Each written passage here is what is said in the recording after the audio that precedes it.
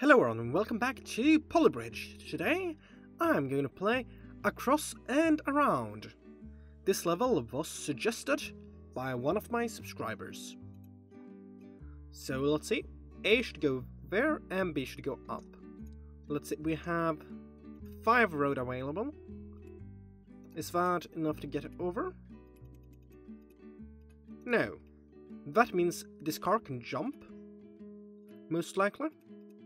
So just build like three road, road like that, and then just normal triangles.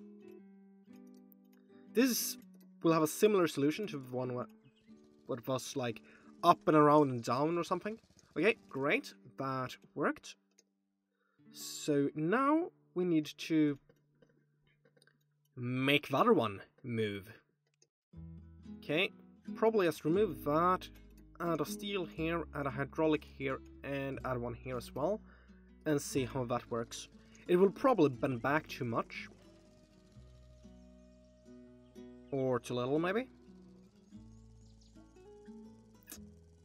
Yeah, that was not that good, to be honest.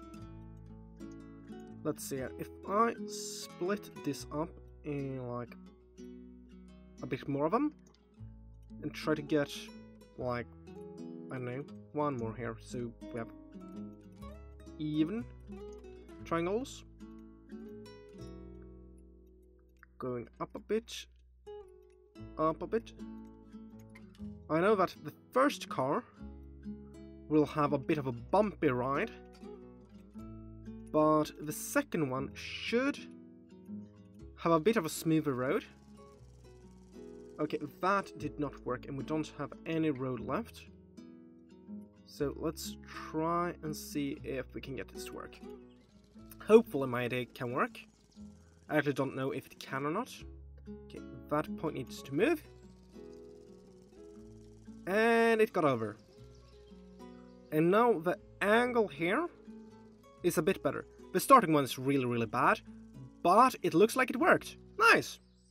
This was a pretty simple and fun level. If you want to play it yourself, just play it. It's... What was it? Across and around. So if you like this video, like it. If you want to see more videos like this, subscribe to my channel, and thanks for watching.